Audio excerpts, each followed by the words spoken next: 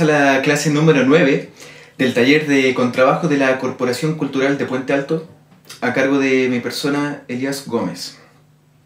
Lo que acabamos de escuchar es la primera frase, o para los más quisquillosos, la, eh, la primera semifrase del concierto en re mayor de Van Hal, que eh, es lo que vamos a tratar en esta clase. La clase de hoy entonces vamos a continuar el trabajo que hicimos la semana pasada respecto al arco y vamos a ver eh, los segundos movimientos de los conciertos de Van y de Bottesini. Vamos entonces con el ejercicio de arco y para eso vamos a establecer nuestra negra en un valor alrededor de 60 bits por minuto. En este caso está a negra 56.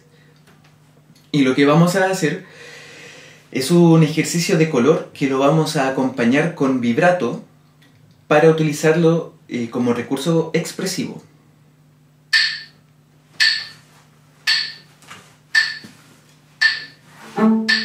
Entonces a medida que vayamos desarrollando la redonda, vamos a cambiar el color y vamos a cambiar la velocidad del vibrato.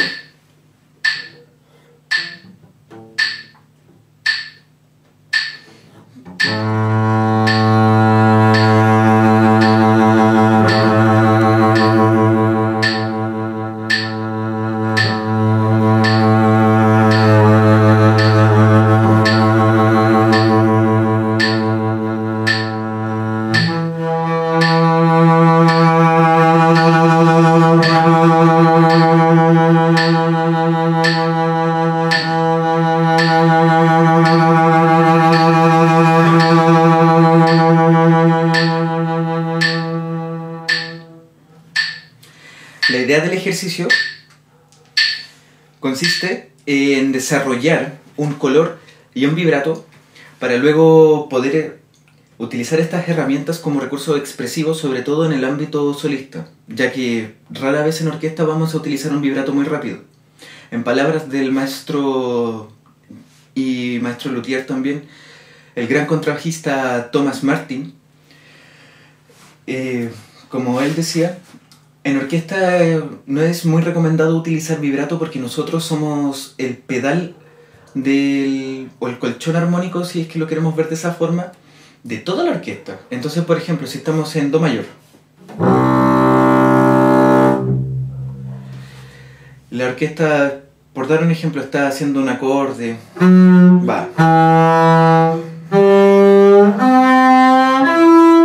etcétera, etcétera necesita una base sólida.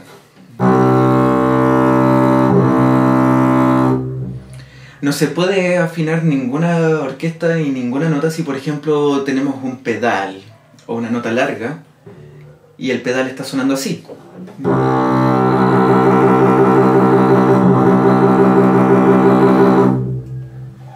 Es difícil que alguien se pueda afinar teniendo una base que no es llana, que no es lisa.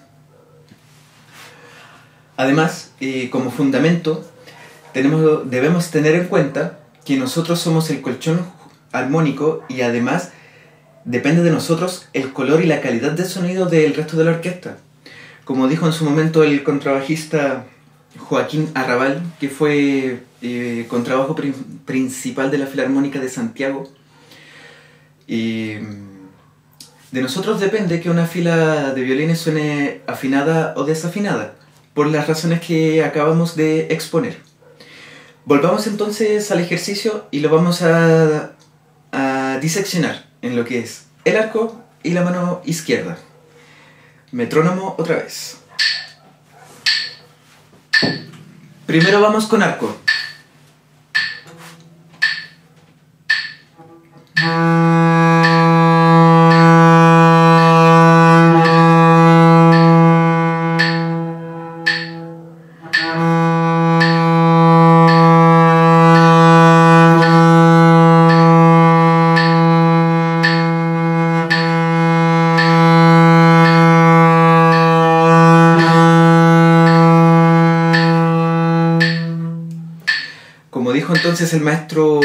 Fagone, no solo existe el vibrato de mano izquierda, sino que también existe el vibrato de arco.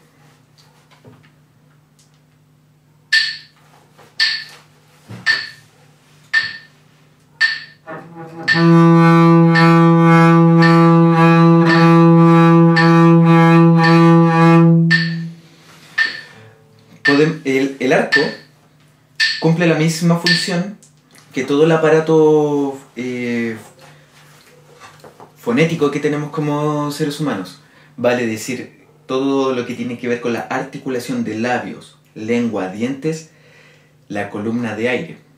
Las cuerdas vienen siendo entonces como las cuerdas vocales porque son las que dan la entonación, pero todo el resto de componentes del sonido provienen del arco. Entonces, como estábamos eh, practicando delante, es bueno hacer este ejercicio de olitas y en cada y punto alto, agregar entonces vibrato.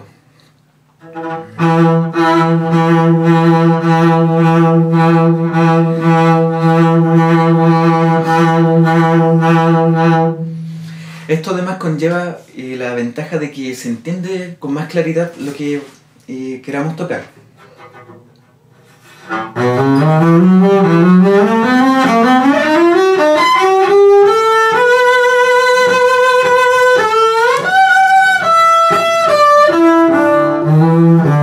etcétera, etcétera. ¿Qué, otro pasaje? Por ejemplo, el mismo pasaje del, del principio del concierto de Van Lo vamos a tocar sin vibrato, solo con articulación de arco.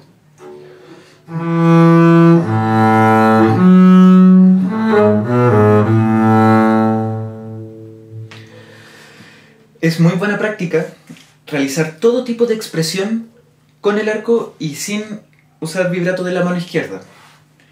Sobre el vibrato hay, hay muchas opiniones y a veces opiniones encontradas porque para gustos colores.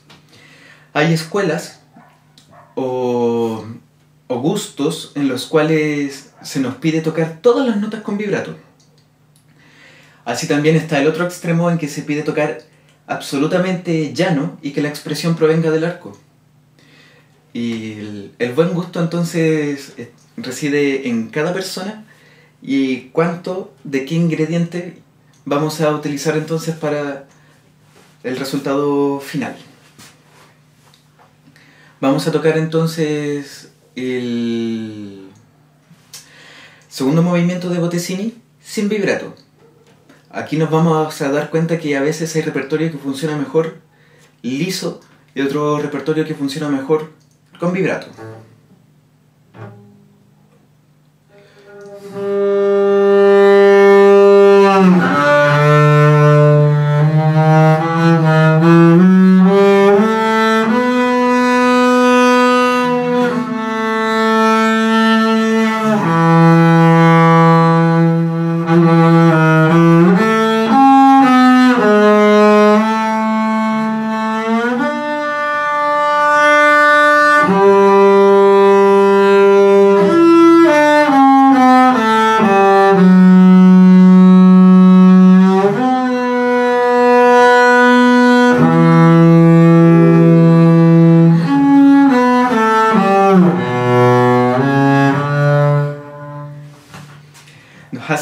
Poquito más de sabor o de picor.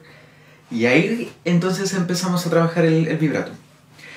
Volviendo entonces al vibrato y al ejercicio de expresividad, ya vimos entonces eh, lo que es el arco, con olitas.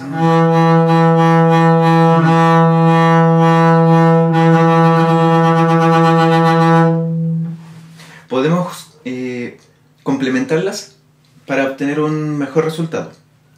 Ahora vamos a realizar un ejercicio con la mano izquierda para el vibrato, pero con el arco liso. Esto es complementario a lo que vimos entonces en la clase número 5. Vamos entonces. Guau, guau, guau, guau, guau, guau, guau, guau, guau, guau, guau, dos, un, dos, tres, cuartina, rapidito.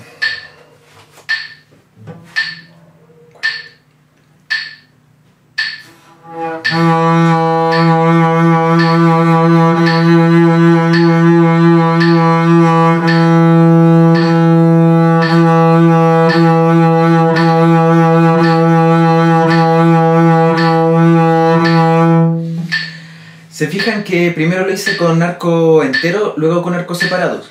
¿Por qué razón? Porque esto nos va a ayudar a independizar eh, una cosa con otra.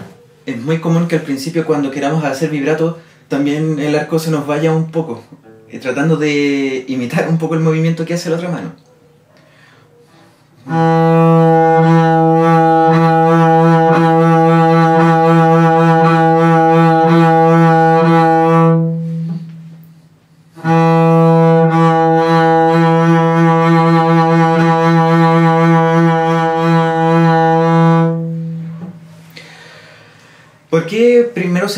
Y luego juntamos las dos variables? Porque obviamente tenemos que dominarlas por separado para crear las conexiones neuronales necesarias y para generar la independencia, como hemos visto también en juegos cuando teníamos clases presenciales, pues, los juegos de... mm,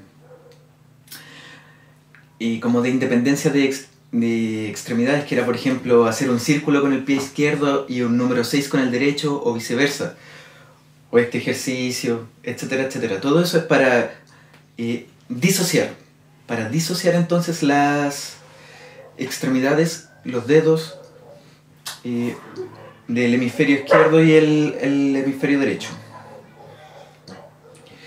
Em, otro punto muy importante es conectar el vibrato.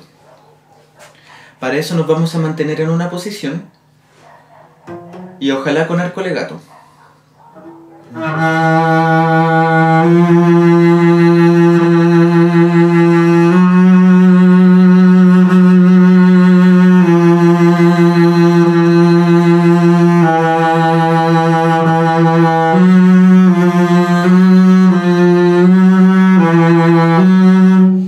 Y que el vibrato sea continuo.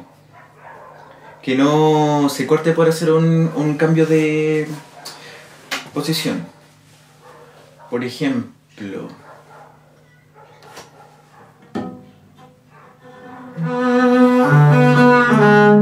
Vamos de nuevo.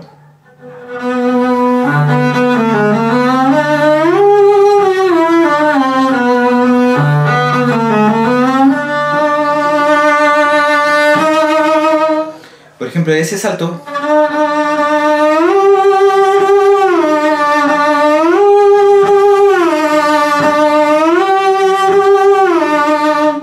Siempre con vibrato. Es muy buen ejercicio practicar los cambios de posición, no solamente con los daily exercise y con las escalas, como ya hemos visto, sino que además sumar los cambios de posición con vibrato. Incluso puede ayudar a, a conectarlos mejor y a que se hagan más fácil porque vamos a estar con la inercia propia del movimiento.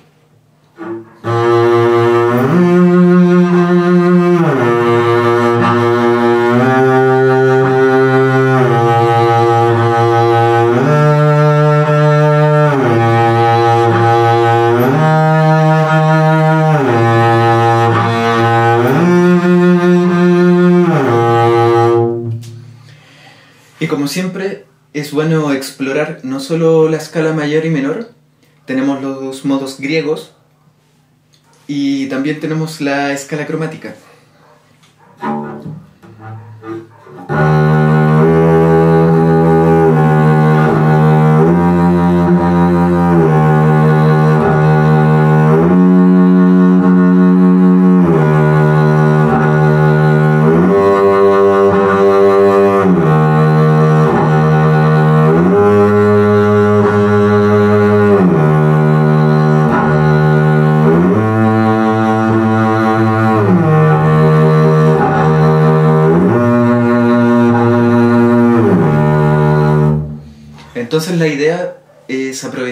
Del vibrato para realizar los cambios de posición. Otro aspecto muy importante respecto al vibrato y a la expresividad tiene que ver con la velocidad y la amplitud. A medida que estamos en un registro más grave, necesitamos que el vibrato sea lento y amplio, porque psicoacústicamente va a ser más agradable y fácil de escuchar. Asimismo, cuando estemos en el registro agudo, tenemos licencia de poder utilizar un vibrato un poco más rápido. Sin embargo, utilizar un vibrato rápido y angosto en el registro grave, aparte de que no se va a entender, se va a sentir como una nota destemplada o, desafinada, porque nunca va a estar en su centro, sino que va a estar como siempre, como tiritando. No es lo mismo que la nota esté tiritando que cuando está con un vibrato, porque cuando hay vibrato hay un eje, se mantiene la estabilidad de la nota. Además, es importante destacar que el vibrato al, menos en palabras del maestro Joel Quarrington, consiste en llegar a la altura de la nota y bajar. Por ejemplo, si esta es la nota sol, no vamos a hacer un vibrato en torno al sol, sino que llegando hasta la nota sol. Esto es un principio también del bel canto y que tiene resultados muy buenos. Les voy a mostrar cómo no tiene que ser el vibrato en el registro grave.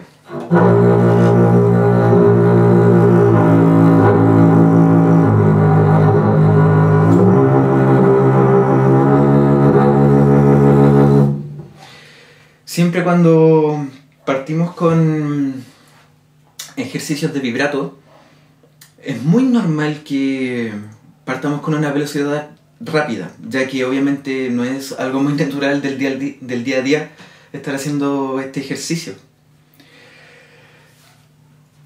Sin embargo, para eso tenemos que trabajar con metrónomo y con velocidades de vibrato, como ya hemos visto corchea, tresillo, cuartina, quintillo y seisillo. Además, tenemos que trabajar la amplitud del vibrato. Por eso, eh, recomiendo realizar el vibrato que es como este gesto técnico de girar el pomo de una puerta. Porque esto nos da mayor amplitud en relación al, a la otra forma de hacer vibrato que es con la con los nudillos paralelos al, mástil. Sin embargo, este vibrato funciona mejor en orquesta porque mantiene la posición, además no genera una amplitud tan grande que llega a perderse un poco el centro de la nota. El vibrato amplio que les hablo es para uso más bien solista.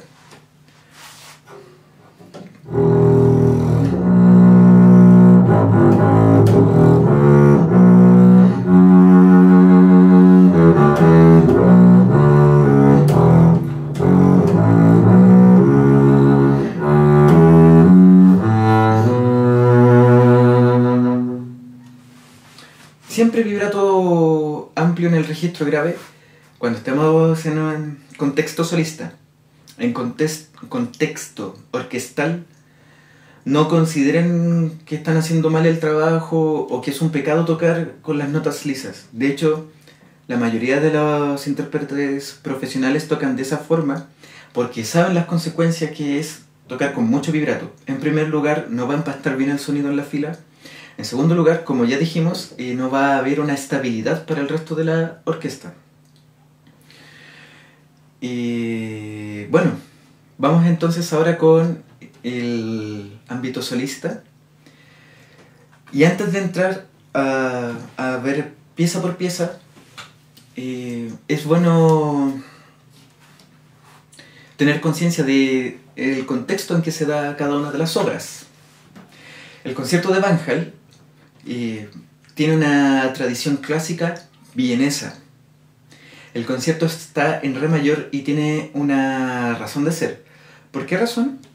Porque era muy común utilizar la afinación vienesa, que consiste en la primera cuerda afinada en La, la segunda en Fa sostenido, la tercera cuerda en Re y la cuarta cuerda en La. Entonces sonaría algo así.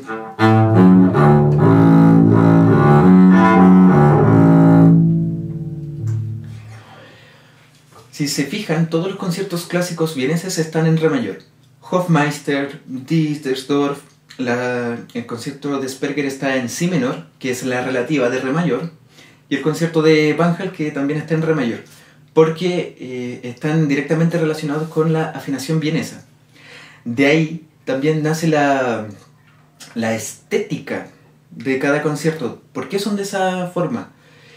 Y los conciertos clásicos no son conciertos particularmente expresivos como los conciertos románticos, sino que incluso tienen mayor riqueza armónica porque aprovechan la resonancia del instrumento gracias a que está afinado en un arpegio de re mayor. Por lo tanto, eh, la gracia de esos conciertos, más que mostrar el virtuosismo de pa a pa, es mostrar el, las posibilidades sonoras del instrumento en un plano más horizontal que vertical. Eso en primer lugar con el concierto de Van La misma exposición.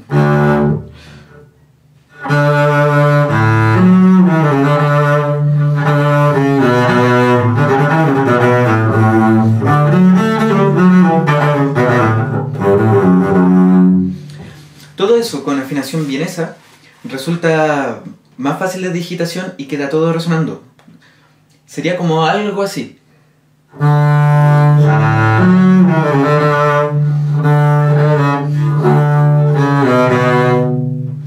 Siempre con alguna cuerda eh, resonando por simpatía. Y esa es una de las, uno de los fundamentos estéticos de los conciertos clásicos. Apuntan entonces a la belleza propia de la armonía, de la articulación, y no al sentimentalismo o al mundo interno del, del compositor, como es el caso del concierto romántico. Vamos entonces ahora a hablar un poquito acerca de Bottesini y de lo que se trata en sus conciertos. Giovanni Bottesini era compositor, también fue director y contrabajista, el más destacado junto a Domenico Dragonetti a lo largo de la historia del contrabajo. Bottesini era el encargado de montar óperas, también fue un, una persona de confianza del gran compositor Giuseppe Verdi, y de hecho fue Giovanni Bottesini quien estrenó la ópera Aida. Bottesini podríamos decir que era entre comillas, y con todo el respeto del mundo, eh, podemos decir que era un showman. ¿Por qué razón? Porque en los interludios de la ópera, que una ópera fácilmente puede durar dos horas, en los interludios entonces de la ópera, Bottesini salía con el contrabajo y mostraba sus fantasías. Hay muchas piezas breves de Bottesini porque cumplen esa función de despejar o distraer al público en los interludios, cosa que era muy común en, la, en la ópera, que entre medio de, actos que son que de pronto tienen una carga emocional muy densa, muy fuerte, era normal que en los interludios hubiera un show eh, mucho más ligero. A veces había números de humor, o por ejemplo en el caso de Bottesini salía con el contrabajo a mostrar sus piezas virtuosísimas y ver a un contrabajista en esa época dominar el instrumento de esa forma equivalía a un, a un espectáculo muy, muy llamativo. Y por eso también ha sido uno de los personajes más destacados que tenemos en la historia de nuestro querido instrumento. Bottesini tocaba con un instrumento, si mal no recuerdo, un testore eh, de tres cuerdas. ¿Por qué razón? Porque, como sabemos, cada cuerda ejerce muchos kilos de tensión sobre el instrumento. Entonces, él, usando arco francés, eh, se dio cuenta que le todavía faltaba volumen o potencia sonora para llenar el espacio de un teatro, que no es menor. Entonces se dio cuenta, o en realidad era tradición italiana, utilizar instrumentos de tres cuerdas porque hacen menos presión sobre la tapa y permiten que vibren más libremente. Estamos hablando de otra época, de otros instrumentos y de otros montajes. Hoy en día no es tan viable ni, ni muy llevable a cabo esta idea porque el contrabajo sí o sí es un instrumento orquestal. más que un instrumento solista. Bottesini entonces utilizaba tres cuerdas para, su, para todo lo que es su obra solista y además componía ópera, ópera romántica, bel canto. Por lo tanto, hay mucho, eh, mucho lirismo en la música de Bottesini. No voy a tocar el segundo movimiento del concierto número 2, sino que les voy a mostrar el inicio de la obra Reverie.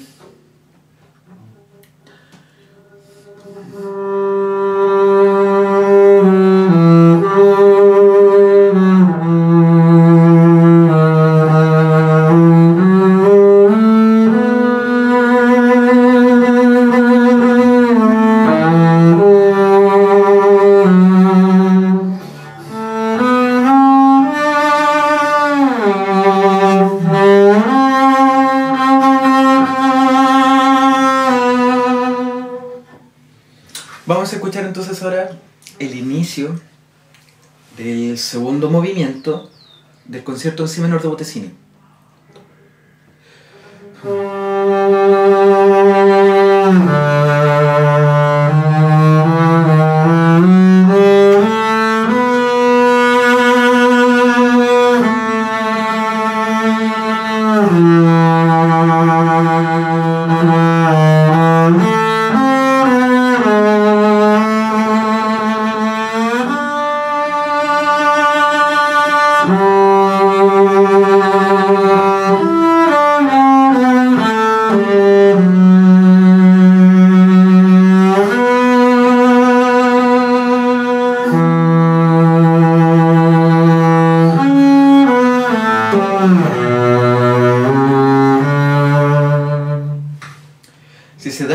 Un lenguaje muy vocal. Esto es, muy cantable.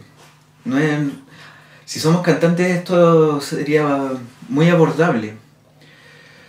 Porque la melodía se mueve muy entre notas y notas, de una nota a otra, o grados conjuntos, que es el término exacto. En cambio, el, el segundo movimiento del concierto de Van es mucho más instrumental, porque se mueve a través de arpegios, la melodía se desarrolla a través de arpegios, hay más nota repetida y como vimos al principio, se busca la riqueza armónica. Además es lenguaje netamente instrumental. Como dato curioso, el concierto de Van eh, está dedicado al contrabajista eh, Sperger, que tiene 15 sonatas un concierto también. Y Van Hal fue contemporáneo a Mozart, llegando incluso a ser más famoso y cotizado en Viena. A pesar de que, claro, él nació antes que, que Mozart, pero está, en su momento llegó a ser más cotizado que el gran Wolfgang Amadeus. Vamos entonces con el segundo movimiento de Van Hal.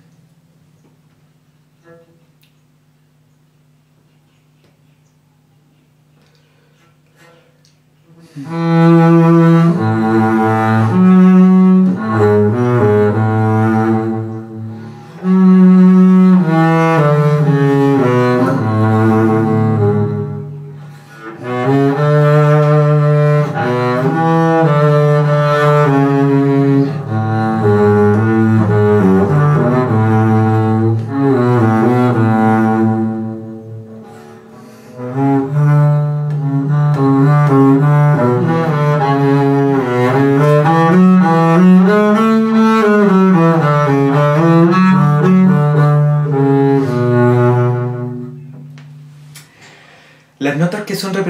O que están un poquito más marcadas son notas que enriquecen la armonía. Lamentablemente no tenemos un pianista acompañante,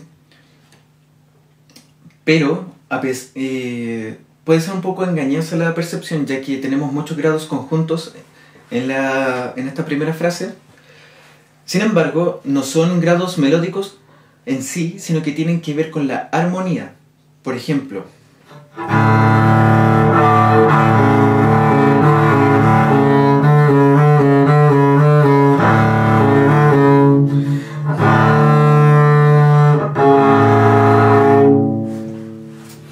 Eso, por ejemplo, aquí.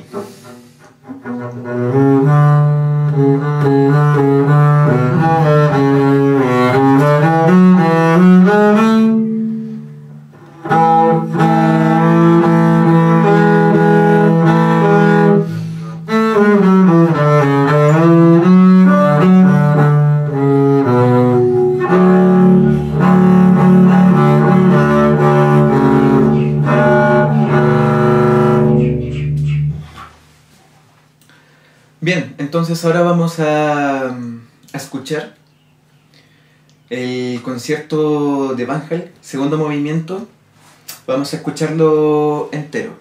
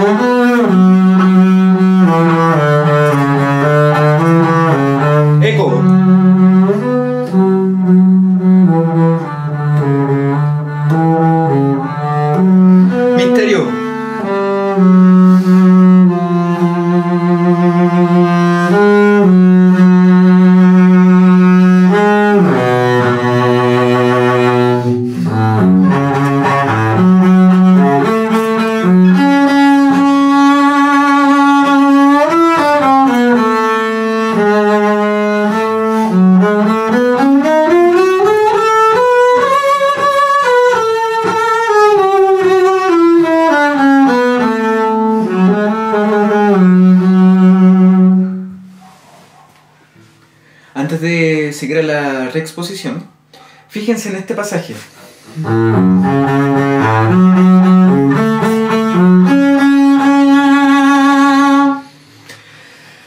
En la música de estética clásica o de estilo clásico, la nota repetida siempre va a significar algún tipo de drama o de suspenso o los puntos suspensivos que le dan la tensión a la trama.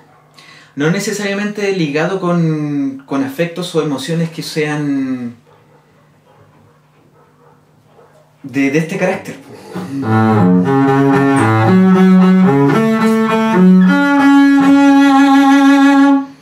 Las emociones y los caracteres son de ámbito subjetivo y allí está el trabajo del intérprete. En este caso yo me imagino algo como con rabia, como preguntando, ¿por qué hiciste eso? ¿Por qué? Y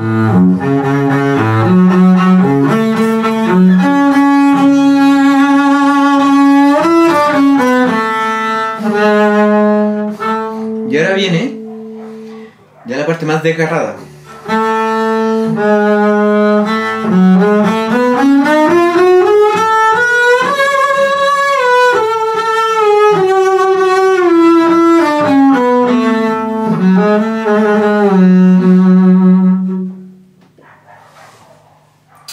El segundo movimiento está en La mayor y terminamos en un Fa sostenido de esa sección.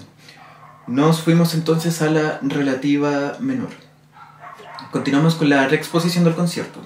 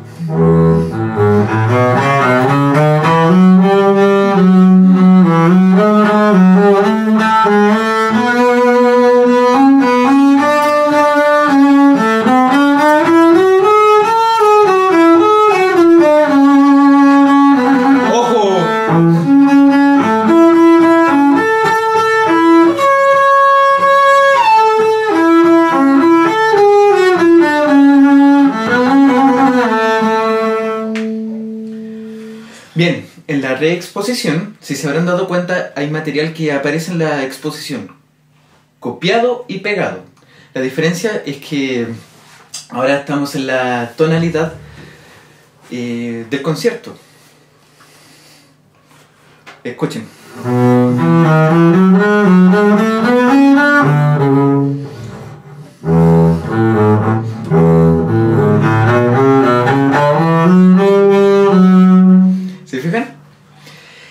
También tenemos el, el factor de la nota repetida.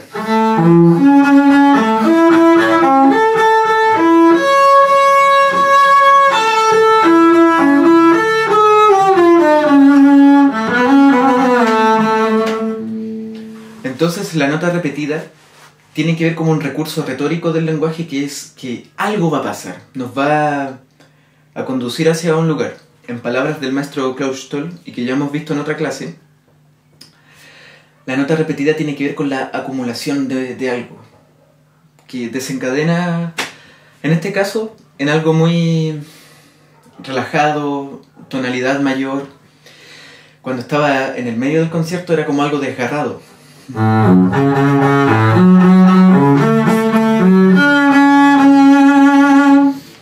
Fa sostenido menor.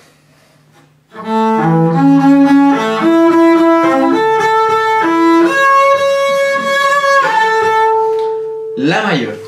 Hay una directa relación en la tonalidad y el color. Acorde menor de relativa, fa sostenido, menor. Acorde de la tonalidad, la mayor. Oscuro, doloroso, abierto, alegre, color luminoso.